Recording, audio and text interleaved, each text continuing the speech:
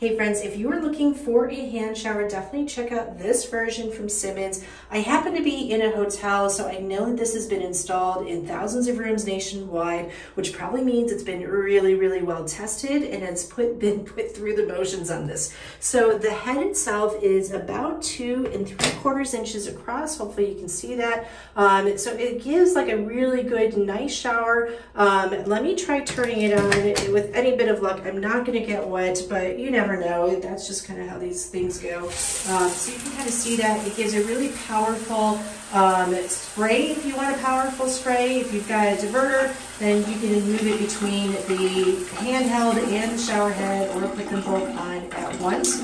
Um, the hose itself is about 60 inches, so it's definitely long and big, and then it's got a 30 inch slide bar um, to it. So if you are looking for a handheld shower that is going to be super powerful, well tested, well made, definitely check out this version from Symmons.